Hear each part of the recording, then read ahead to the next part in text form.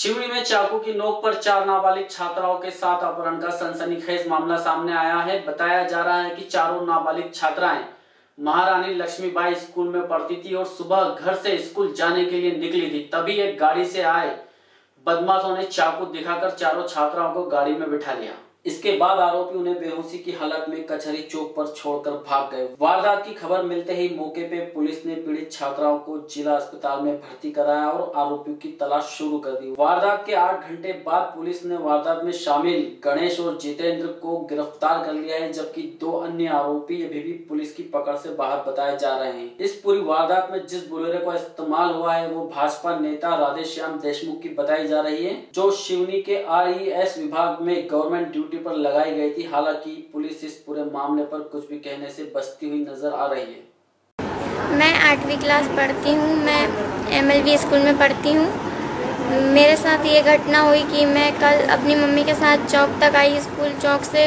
कुछ लड़के पीछे कर पीछे कर रहे थे तो उनने हमको बोला कि हमारे साथ बैठो, धमकाए थे कि नहीं बैठोगे तो मार देंगे, चक्कू दिखा रहे थे। इसके डर डर के कारण हम लोग बैठ गए। और कुछ नशीली दवाइयाँ वगैरह पिलाई हमको। हाथ तो बाल खींच के मारे भी थे हमको थप्पड़। उसके बाद क्या हुआ? उसके बाद कुछ अजीब अजीब सी हरकतें कर रहे थे। फिर वो चक्कू दिखा दिखा के हमको धमका रहे थे अगर तुम पुलिस स्टेशन जाओगे तो मार देंगे। और कुछ बिस्किट में कुछ मिला के खिलाए थे हमको जो जिससे हम चक्कर खा के बेहोशी के हालत में थे। और कहाँ जबलपुर रोड मंगवानी कौन सी रोड ले लेके घुमाए हमको पूरा? ये जर, जर, जारत नाका तरफ़ से कैसा लेके आए?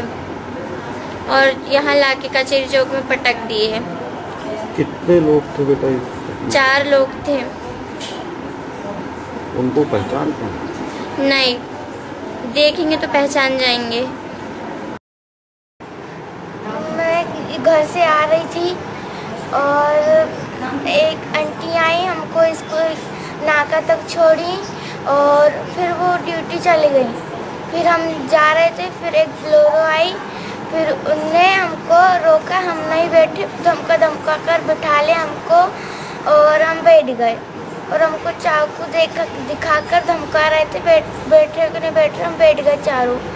और फिर बोल रहे थे कि फिर नागपुर रोड में ले गए हमको और फिर बिस्किट टिस्किट खवाए, हम नहीं खा रहे थे। फिर ज़बरदस्ती ठूस ठूस कर खवाए हमको।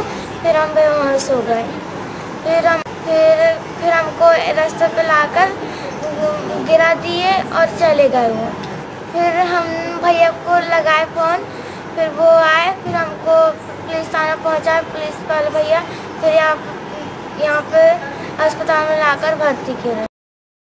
मेरी बच्ची सवेरे साढ़े सात बजे स्कूल के लिए रवाना हुई थी सर जी घर से। यहाँ दिलबाग नगर के पास से राधे श्याम देशमुख की गाड़ी है, बीजेपी नेता है सर जी वो।